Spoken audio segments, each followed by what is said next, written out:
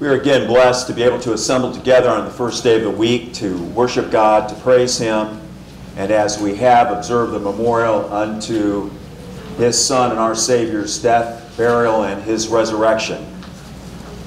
And I would encourage you, if you would, to obtain your Bible and follow along with me as we have a study this morning that I'd like to expand upon on the three great resurrections. One of the unique features and exclusive characteristics of Christianity is indeed the resurrection. A Christian's hope of immortality is founded on the concept of the resurrection. As we reflect upon God's Word, we can determine that He has declared before us within His Word three great resurrections. God's appeal to man is consistent with the terms that he has established within these resurrections. And within those terms, we have established for us hope for the faithful, hopelessness for the disobedient. I would like for us to first examine the reality of a resurrection and then investigate each of the three great resurrections that God has revealed to us in His Word. So let's look at the reality of a resurrection. And notice Abraham.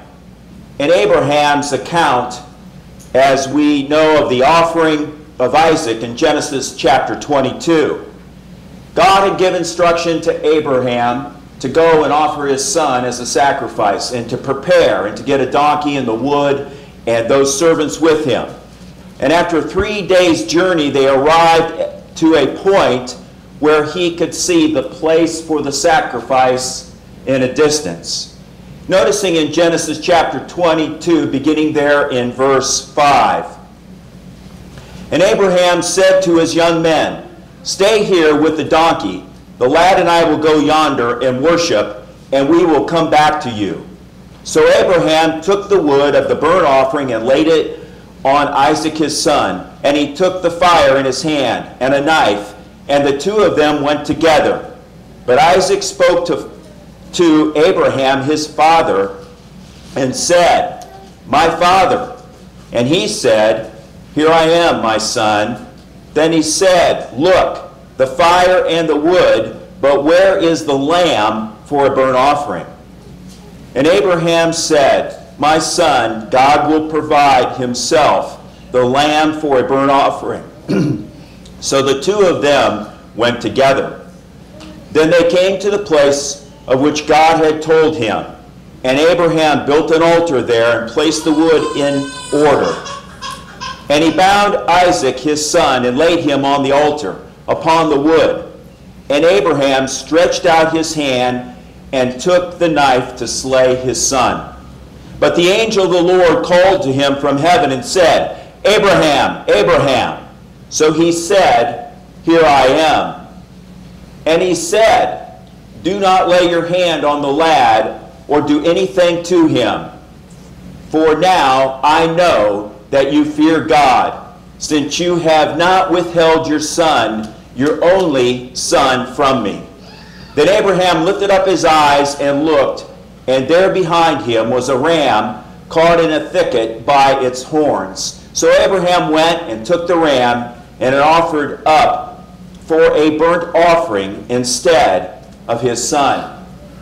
So in this account, we certainly see the working of Abraham and his faith and his obedience unto God, following the order that God had given to him to offer up his son.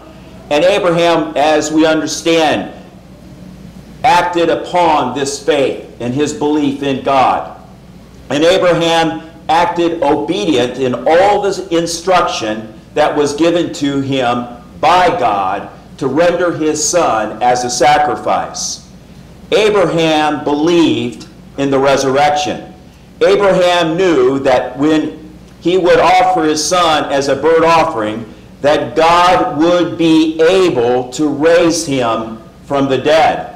In verse 5 of Genesis 22, and Abraham said to his young men, Stay here with the donkey. The lad and I will go yonder and worship, and we will come back to you. Both of them, to come back, because he believed in the resurrection. In Hebrews chapter 11 and verse 17, noting there, by faith Abraham, and we have just read one of the accounts of Abraham being faithful, being obedient in his beliefs. By faith, Abraham, when he was tested, offered up Isaac. And he who had received the promise offered up his only begotten Son, of whom it is said, In Isaac your seed shall be called, concluding that God was able to raise him up even from the dead from which he also received him in a figurative sense. He believed that God would be able to raise his son, even from the dead in his faith, as we noted here in verse 11.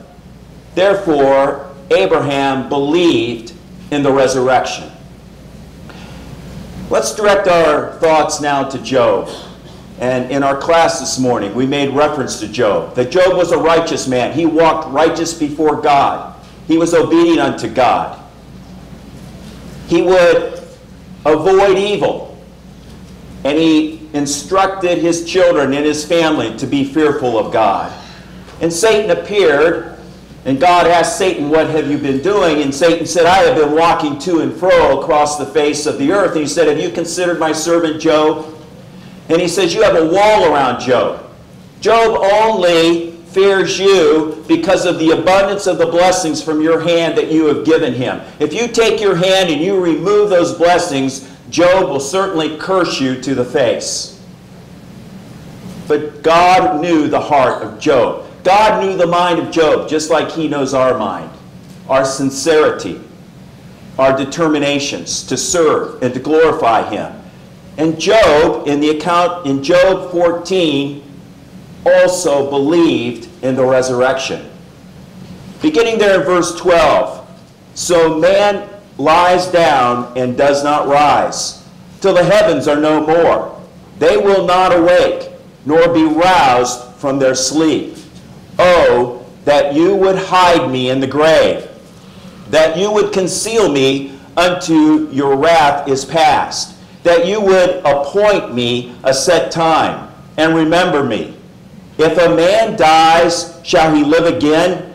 All the days of my hard service I will wait till my change comes. Job is asking us a rhetorical question of which he knew the answer. He says, If a man dies, shall he live again?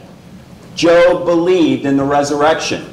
He knew that if a man dies, he will live again. We know, as the scriptures have taught us, it's appointed unto man once to die, and after this, the judgment. The judgment is before all, because there is a life before us after this death. Job believed in the resurrection. Job knew of a coming resurrection. In verse 12, he states, Till the heavens are no more, they will not awake nor be roused from their sleep. He is establishing that there is a point in time of which all things will end, that the heavens will be no more, and people are going to sleep until that time. As we know, when that time comes and the kingdom is delivered unto the Father, and all things are brought to an end as we know them. So he is establishing that prior to this point in time, man will not awake nor be roused from their sleep, waiting for that time to come. Job knew that a resurrection would come, and with its coming would also come a change. He is waiting for that change to come. And that's what he's described for us here. In verse 14, Job declares that all the days of my hard service I will wait till my change comes. Our works precede us. The things that we do in this life will be accounted for. Job knew that. He knew that there was going to be a resurrection. Let's now direct our thoughts to Daniel, the prophet. In Daniel chapter 12, beginning there in verse 1. At that time, Michael shall stand up, the great prince who stands watch over the sons of your people, and there shall be a time of trouble, such as never was, there was a nation. Excuse me, such as never was since there was a nation. Even to that time, and at that time your people shall be delivered. Everyone who is found written in the book, and many of those who sleep in the dust of the earth shall awake some to everlasting life, some to everlasting con contempt. And this is another point that Stephen brought out in our class, in our study today. That there is an appointed time. There is a conclusion to all things as we know them. Daniel prophesied of a coming resurrection, and with the resurrection, there will be a separation. Some to everlasting life, some to shame and everlasting contempt. God has made a distinction. That distinction in our rock solid faith that we have been studying about is a distinction between light and darkness, a distinction between truth and error, a distinction that is being established here for us a distinction between one of eternal life in the presence of God or to be separated from Him. That life will go on after this life ends because there is a resurrection. Now let's notice, of course, Jesus Himself. In John chapter 5, beginning there in verse 28. Do not marvel at this, for the time is coming in which all who are in the graves will hear his voice and come forth. Those who have done good to the resurrection of life, and those who have done evil to the resurrection of condemnation. The message remains consistent. There will be a resurrection. And you're going to take part in that resurrection, all who have lived upon the face of this earth will either be resurrected to eternal life or resurrected to condemnation. Those that have died and are in the earth, and the dust is over us, as we have just read about previously. The Apostle John has given us record of Jesus pronouncing the coming resurrection. Jesus affirms that the resurrection will consist of two forms those who have done good to the resurrection of life, and those who have done evil to the resurrection of condemnation. God has made distinctions, and He will again at the end of all time. In Matthew chapter 16, verse 21, beginning there, he says, From that time Jesus began to show his disciples that he must go to Jerusalem and suffer many things from the elders and the chief priests and the scribes and be killed and be raised the third day. Jesus is declaring the resurrection. There's going to be a resurrection of life, and there is going to be his resurrection. And Jesus is foretelling of the sufferings that would come to him by the hands of the elders and the chief priests and the scribes, and how he would be killed and his resurrection would take place on the third day. Jesus believed in the resurrection. Jesus' resurrection is a victory over death. As we know in Matthew chapter 28, and I'd like to begin there in verse 1 to capture the entire thought of this passage. Matthew 28.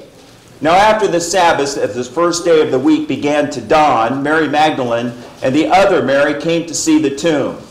And behold, there was a great earthquake, for an angel of the Lord descended from heaven and came and rolled back the stone from the door and sat on it. His countenance was like lightning, and his clothing as white as snow. And the guards shook for fear of him and became like dead men. But the angel answered and said to the women, Do not be afraid, for I know that you seek Jesus who was crucified. He is not here. He is risen, as he said. Come, see the place where the Lord lay. And go quickly and tell his disciples that he has risen from the dead, and indeed he is going before you into Galilee. There you will see him. Behold, I have told you. So there are many that do believe in the resurrection who had become eyewitnesses. And certainly the guards that were there who were as dead men because they were in shock and awe of the event that occurred with the presence, as well as the two Marys, and then later a whole host of those who had witnessed the resurrection of Jesus. So Jesus' resurrection for us, as we understand, is a victory over death and that is determined here for us in these passages that we have just read, as well as other accounts. So the resurrection is a reality. And we can establish that reality throughout the ages. And those that believed and established for us in confidence the resurrection, those of great faith. So, the first of these three great resurrections that I would like for us now to consider is the essential fact that Jesus was raised to die no more, just as we have read in this account. But let's notice over in the book of Acts the accounts that we have there. In Acts chapter 13 and verse 34, here we are reading, and he says, And that he raised him from the dead, no more to return to corruption. He has spoken thus. I will give you the sure mercies of David. Therefore, he also says in another psalm, You will not allow your Holy One to see corruption. For David, after he had served his own generation by the will of God, fell asleep and was buried with his fathers and saw corruption. But he whom God raised up saw no corruption. So he's contrasting, of course, David, who was still in the tomb who did see corruption and decay. But yet, Jesus, as we have just read, saw no corruption because he raised himself through the power of God from the dead. And that is what is being given to us here in this account that he will not die again, no more to return to corruption. In 1 Corinthians chapter 15, Paul writing to the church in Corinth in a chapter that we are very familiar with. Beginning there in verse 20, he says, But now Christ is risen from the dead and has become the first fruits of those who have fallen asleep. For since by man came death, by man also came the resurrection from the dead. For as in Adam all die, even so in Christ all shall be made alive. So death came to us through Adam. And we understand those events as they were described to us. And life has come to us through Christ, as he is contrasting for us here. Because Christ has risen from the dead, he became the first fruits. And we'll notice further the relationship that we have in regards to this. For since by man came death, by man came also the resurrection from the dead. And so we have this essential fact that Jesus was raised from the dead. Continuing then in 1 Peter, the first chapter, let's notice there, verse 3. Peter writing to us saying that, Blessed be the God and Father of our Lord Jesus Christ, who according to his abundant mercies hath begotten us again to a living hope through the resurrection of Jesus Christ from the dead to an inheritance incorruptible and undefiled, and that does not fade away, reserved in heaven for you, who are kept by the power of God through faith by salvation, ready to be revealed in that last time. Our faith is based upon the resurrection of Christ. If Christ, as the scriptures tell us, died and did not arise from the dead, our faith is of no substance. The Christian's faith is predicated on the resurrection of Jesus Christ. We have been given these abundant mercies because we are born unto a living hope. And that living hope is the resurrection that is before us, the resurrection of life. And that has been revealed to us by Peter and, and many other passages. And then noticing in the Revelation letter, chapter 1 and verse 18 I am he who lives and was dead, and behold, I live evermore forever. Amen. And I have the keys of Hades and of death. The great I am. He lives, he died, he was buried, and he arose, and that he lives forever. And so we see in just a few accounts given to us the essential fact that Jesus was raised to die no more. And so this resurrection of Jesus as the first of these three that we're going to consider also establishes and demonstrates for us an assurance this is an assurance to the world, an assurance that was preached by the apostles throughout the book of Acts. Delivering hope, persuading men. In Acts chapter 3, verse 14, beginning there, and Peter preaching unto them, he says, But you denied the Holy One and the just, and asked for a murder to be granted to you, and killed the Prince of Life, whom God raised from the dead of which we are witnesses. So here Peter is convicting them of the sins of the crucifixion of Christ, that they denied the Holy One, they denied the Just One, they denied the Prince of Life, convicting them of the crucifixion of Christ, but also delivering to them hope, because God raised him from the dead. Direct your energies, your beliefs, your confidence on Christ because he is eternal. And this was established by a great host of witnesses.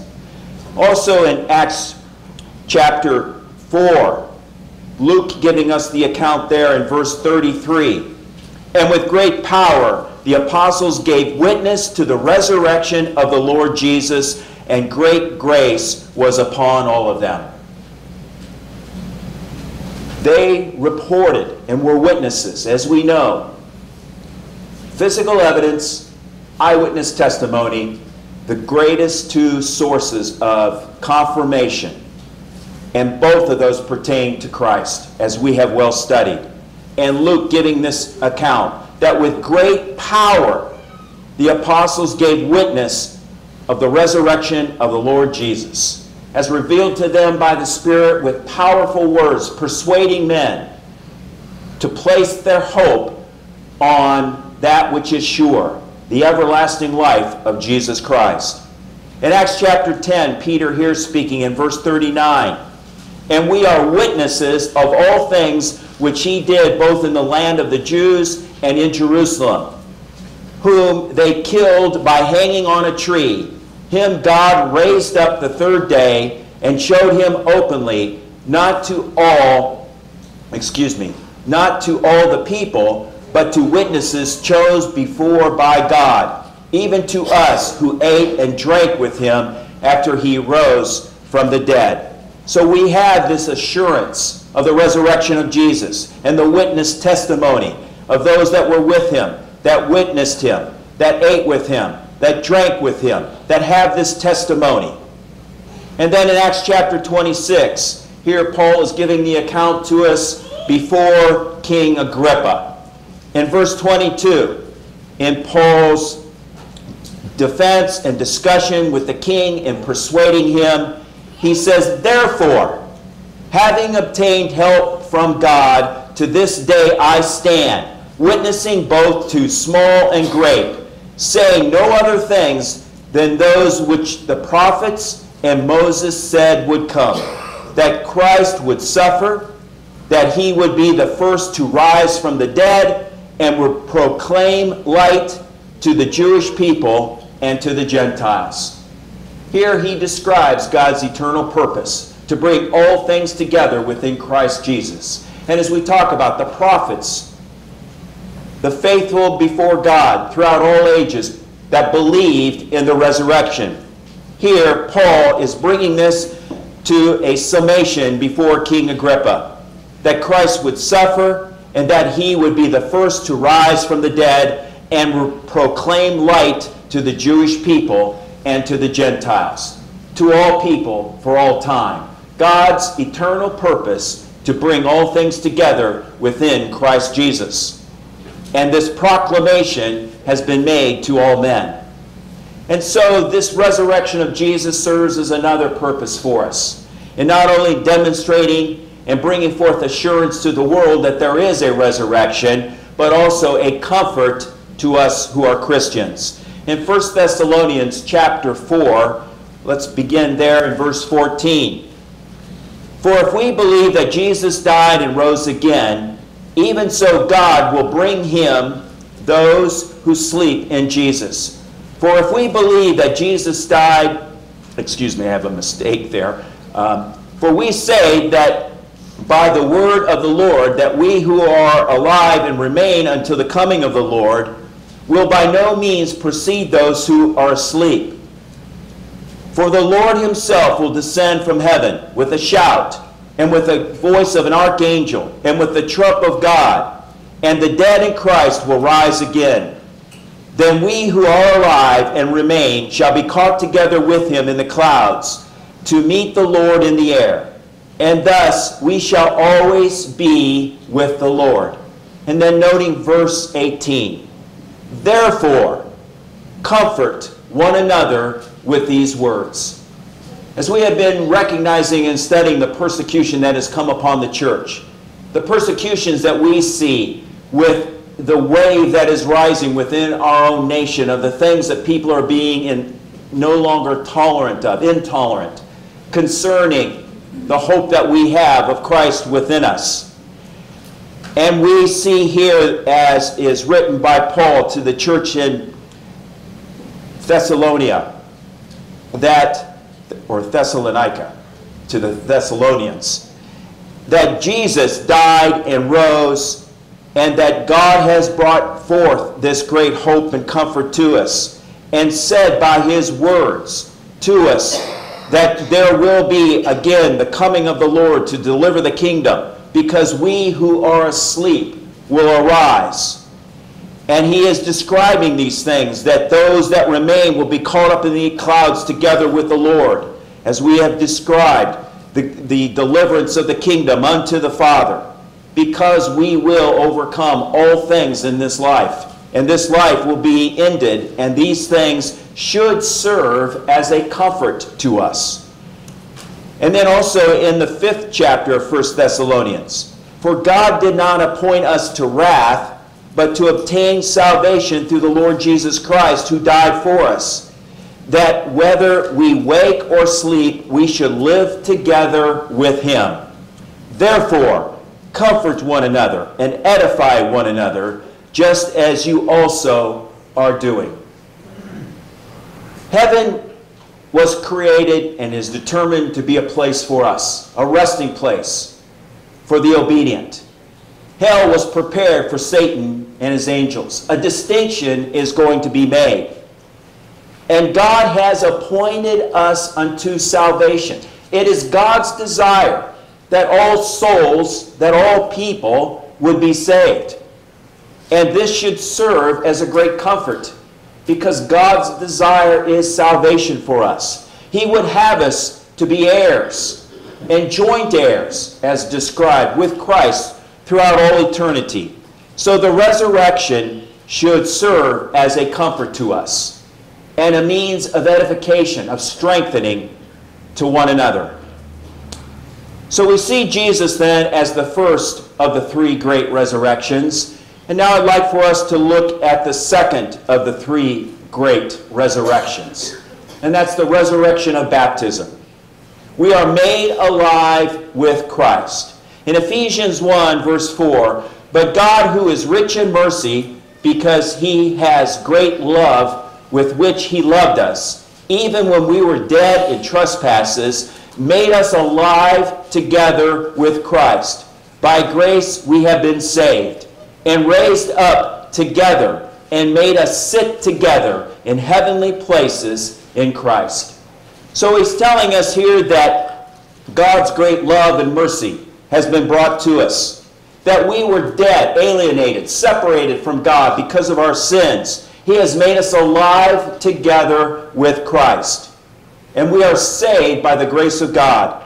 And He has raised us up together and made us sit together in heavenly places. And the church is a heavenly place. It is a place that God purposed for us to be in. It is a source of God's purpose to bring us all together within the church, within the kingdom of God, and that we are in the presence of God in the church. In Colossians 3 and verse 1, he says, If then you were raised with Christ, such, seek those things which are above, where Christ is, sitting at the right hand of God. The question then, the condition is if we have been raised. Have we been raised with Christ? If we have, our affections and the things that we seek of this life need to be directed towards the things that are spiritual. Focusing on Christ and the salvation that He has given to us, and the revelation of His will and His testimony. And so we have this illustration that is given to us by Jesus as this example of our hope through the resurrection of baptism. In Romans chapter 6, verse 3, he says, Or do you not know that as many as were baptized into Christ Jesus were baptized into his death? Therefore, we were buried with him through baptism into death, that Jesus as Christ was raised from the dead by the glory of the Father, even so we also should walk in newness of life. For if we have been united together in the likeness of his death, certainly we also will be in the likeness of his resurrection. If we are in the likeness of his death by being buried in the waters of baptism to arise to walk in newness of life, we have confidence.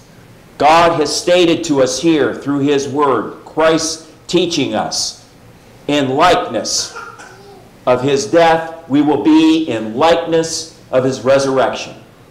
There is going to be a resurrection. And Jesus indeed was resurrected from the dead. And we too can participate in the resurrection of life right now in compliance to the resurrection that we have through the waters of baptism, to be buried in death, to arise, to walk in newness of life. In Colossians chapter 2 and verse 12, we are buried with him in baptism, in which also we were raised with him through the faith in the working of God who raised him from the dead. God raised Christ from the dead. We had the working of the relationship of God through his power, raising us from the dead. It is the working of God, is the power of God that brings us into newness of life. And the believing in the resurrection of baptism, also the believing is an obeying the form of doctrine that has been given to us. These words, this revelation of God's will, in Romans 6 and verse 17. He says, But God be thanked that though you were slaves of sin, yet you have obeyed from the heart that form of doctrine to which you were delivered. And having been set free from sin, you became slaves of righteousness. So we understand here a form is a mold, it's a pattern, it's a picture. If you have a form and you put plaster in it, it takes the shape of that. It takes that form. And we are following the form of doctrine that leads us to everlasting life. It is a pattern that we adhere to. And it is from the heart. It must take place in the mind of man. From that heart, we form ourselves according to the pattern of doctrine that brings to us the resurrection of life. We must believe. So, the third of the three great resurrections is the resurrection of all at the second coming of Christ. Everlasting joy will be granted to some.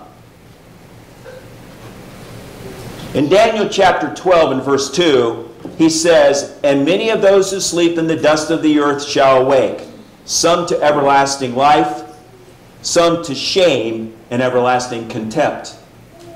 And that's the passage we referenced previously. Daniel believed in the resurrection and told us of this great resurrection, the third of, of the resurrections. And so, with the coming of Christ, there is going to be a great resurrection. Some to everlasting life, some to shame and contempt. In John chapter 5 and verse 28, he says, Do not marvel at this, for the hour is coming in which all who are in the graves will hear his voice and come forth. Those who have done good to the resurrection of life, and those who have done evil to the resurrection of condemnation. There is going to be a time of judgment, a time of which all things will be revealed to us, and we will all come to a level of understanding and comprehension not previously known. God will reveal all things to us. In Revelation chapter 21 and verse 3, And I heard a loud voice from heaven saying, Behold, the tabernacle of God is with men, and he will dwell with them, and they shall be his people. God himself will be with them and be their God and God will wipe away every tear from their eyes. And there shall be no more death, nor sign, nor car- sorrow, nor crying. There shall be no pain, for the former things have all passed away. The things as we know them in this present life will be gone. There will be a third great resurrection. The final resurrection is hope for Christians. And hope is a confident expectation, an anticipation for good. Do we hope for things that are horrendous, that are evil, that are harmful or hurtful? Not unless we have a jaded way of thinking. But we hope for that which is good. And hope without a method of achievement simply remains hope. We can hope about a lot of things, but it takes a method of achievement of which God has revealed to us. We hope and have a great anticipation for the things that are good.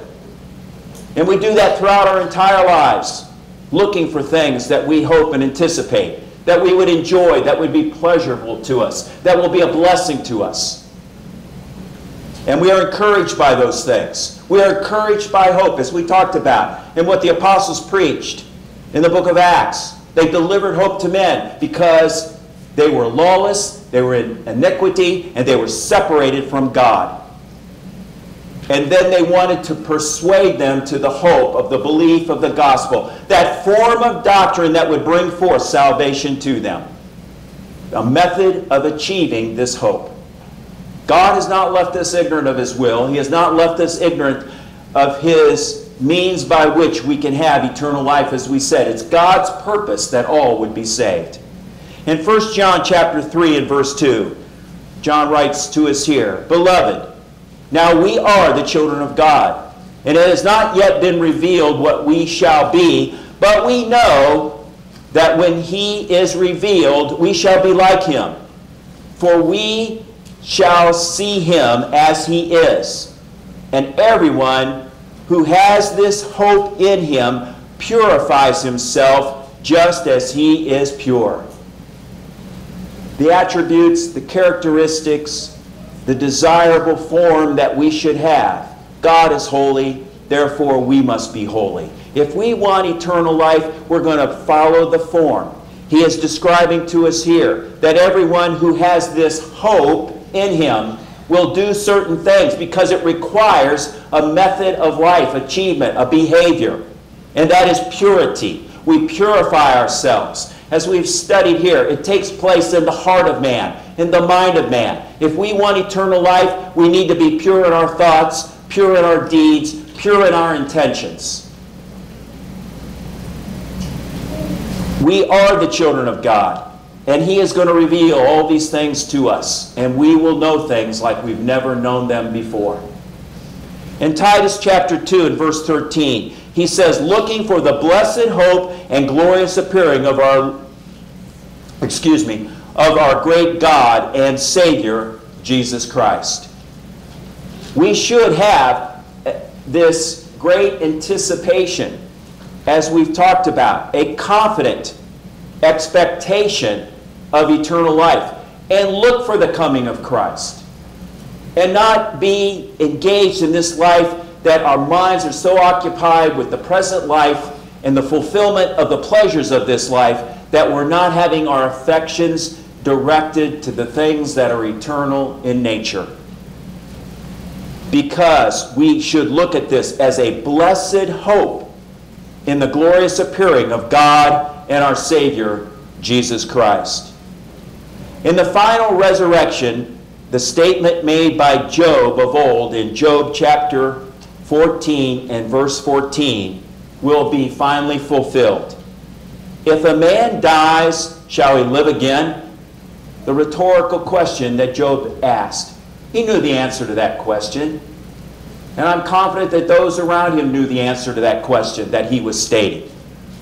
All the days of my hard service I will wait till my change come. Our change will come, as spoken by Job of old. There will be a change. In 1 Corinthians chapter 15, in verse 51 beginning, Behold, I tell you a mystery. We shall not all sleep, but we shall be changed in a moment, in a twinkling of an eye, at the last trump. For the trump shall sound, and the dead will be raised incorruptible, and we shall be changed. We will be changed into that which is an eternal creature of God to glorify Him, and not the temporal that we are housed in presently. There will be a change. If we die, our bodies will see corruption. If we are caught up in the air with Him and we're living, we still will be changed. Because there's going to be a new heaven and a new earth that is prepared for God's saints. So if we believe in the first resurrection, and we are obedient to the second resurrection, then we will rejoice and glorify God in the third resurrection. But if we're not obedient in this life, we also understand that God has made a distinction. There are consequences in this life for the things we choose to do and the things we choose not to do. We don't live a benign life. We're held accountable. There will be, as he states, it is appointed unto man once to die, and after this, the judgment. We're not going to escape those two things. We're not going to escape death, and we're not going to escape the judgment. If we believe in the first resurrection and we obey the second resurrection, then we will rejoice and praise God in the third resurrection. In Romans chapter 6 and verse 5, he says, For if we have been united together in the likeness of his death, certainly we also shall be in the likeness of his resurrection. God is faithful. God is able. Studying God's Word and being a student of God's Word, we know God is able to deliver us. We are confident and assured that what God says is so. God is not a liar. We talked about Satan this morning. Satan is the author of lies, the author of, excuse me, the author of deception. He is the spirit of adversity. He is adverse to all that God is and all that God represents. But God is giving us this confident assurance to know, certainly, if we are united together with Christ in the waters of baptism to arise to walk in newness of life, certainly we will be in the likeness of his resurrection. But there's a requirement, there is a condition, and that is that we remain faithful, and that we serve him, and that we have faith, that we can see things that are far off, because the resurrection is yet before us. It may be closer than we know. We just don't know, do we? We have hindsight, we have a little bit of insight, but we lack foresight. Only God knows the end from the beginning. but he is telling us with confidence there will be a resurrection.